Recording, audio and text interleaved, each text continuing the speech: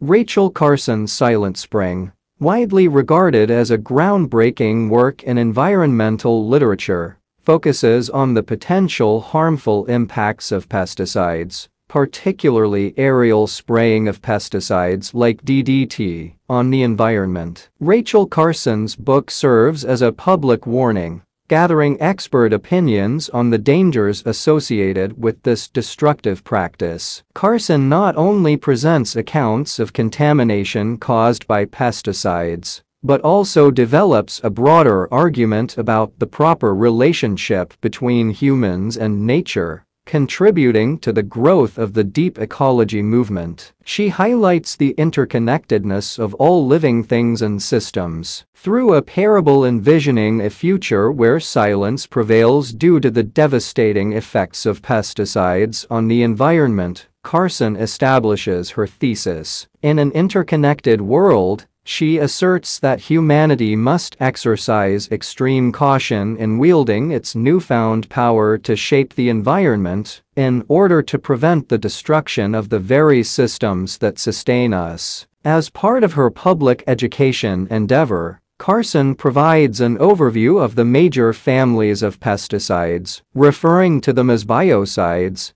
due to their non-specific effects on various organisms not just insects. Having established her conceptual framework and identified the chemicals in question, Carson proceeds to examine the effects of pesticides on different components of the natural world, such as water, soil, plants and bird life, drawing upon an array of anecdotal and statistical evidence, along with expert testimonies, she demonstrates that pesticides are far more lethal than their manufacturers admit. Furthermore, she emphasizes that within nature, these chemicals accumulate and interact in ways that are difficult to predict, particularly since the United States allocated little to no research funding on the topic. Carson then investigates specific disastrous spraying programs and shifts her focus to the impact of pesticides on human health. She criticizes the misleading marketing of poisonous pesticides, reveals the pervasive presence of these chemicals in the food supply, and highlights the lack of regulation. She presents evidence suggesting that these chemicals are carcinogenic.